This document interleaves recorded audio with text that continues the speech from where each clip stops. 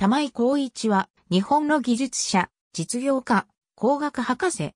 富士ゼロックス代表取締役社長を経て、富士フィルムビジネスイノベーション代表取締役会長、ビジネス機械、情報システム産業協会筆頭副会長。大分県出身。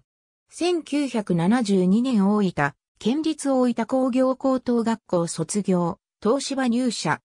東芝生産技術、研究所メカトロニクス開発センター、主任研究員などを務め、2002年には、高性再液晶ディスプレイにおける実装技術と実装システムの開発により、東京大学博士の学位を取得。2003年富士写真フィルム入社。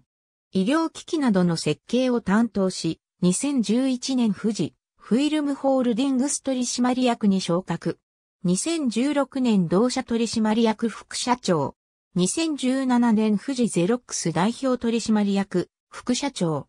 2018年から富士ゼロックス代表取締役社長を務め、小森重隆代表取締役会長とのツートップ体制を指揮、ゼロックスとの経営統合交渉に当たった。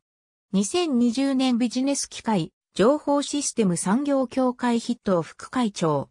2021年富士フィルムビジネスイノベーション代表取締役会長。ありがとうございます。